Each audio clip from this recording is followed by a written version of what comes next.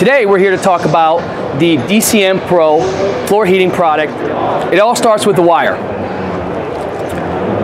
Wire is made by Warmup and it started with the idea of making a wire that is strong enough and gives you enough wattage per square feet in order to be a primary heating source.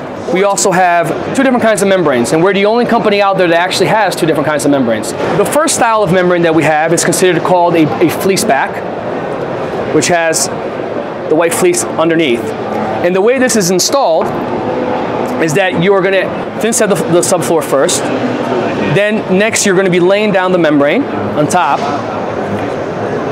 from there, this is where you, you go in over with the wire, click in the wires inside the, inside the membrane, and finally do another layer of thin set or mortar, and then tile over it. If you look closely, the castellations that we have in the membrane allows us to have a more thin set to wire contact that is very important. The reason why is because it gives you the ability to have consistent heating throughout the wire and the thin set. So you don't have any cold spots.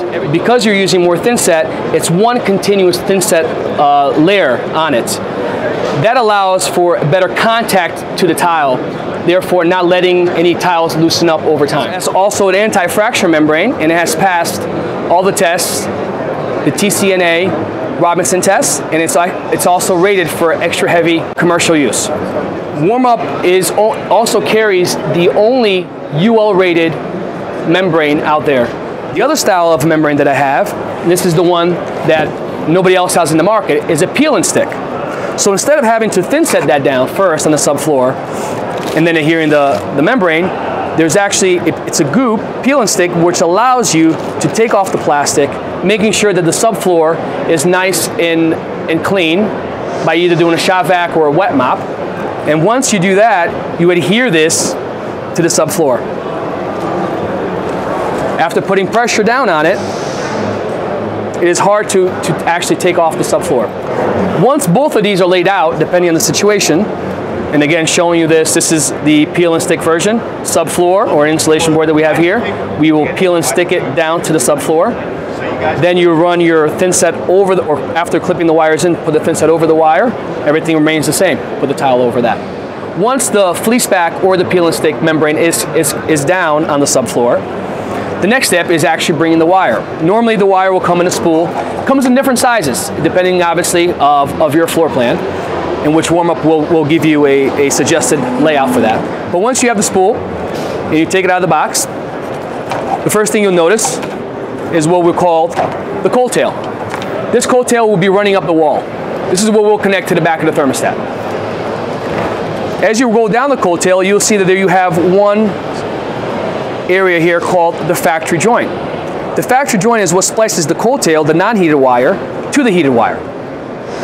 This is important when installing this. It has to be installed into the subfloor. It has to also be encapsulated with thinset. And the reason why it has to, because it also still heats up. And if it doesn't have anywhere to, to, to, tra uh, to transfer the heat through, it will actually eat away at its own jacket and loosen up the connection. Very, very important. Once you have installed this on the subfloor, now you can lay out the wire. And the wire, as you see, is very simple to install where you come in and you'll go as the layout shows you. The closer the spacing is, the more wattage per square feet you're going to have. Therefore, you'll have more heat, faster ramp up time, and maybe a little bit more efficient in, in the sense of primary heating. As you go to three peg spacing, it creates a little bit less heat, about 14 watts per square feet, two peg spacing about 20 watts per square feet. And lastly, if you go to four peg spacing, it creates the least amount of heat, which is about 12 watts per square feet. Once the wire is completely laid out, and you like your configuration, and you have put it into the, the area that you wanted for, the, for the, your heated floor plan, this is where your tile guy would come in and put mortar all throughout uh, the membrane, making sure that you're completely filling all the different castellations. Okay? Filling everything in. The benefit again is that as you're coming in here with a trowel, you're never touching that, that wire, never having the possibility of damaging the wire. And also making the job much faster on the install instead of normally what a lot of tile guys would do with other products would walk away because they have to pour either a leveler uh, or do a skim coat of mortar before and then let that cure and dry overnight. From here, you'll hook up the wire to our proprietary thermostat, the 4IE. The 4IE comes in either Wi-Fi or non-Wi-Fi. All thermostats are energy efficient, which will let you know exactly how much you're spending on your consumption depending on how you have it programmed.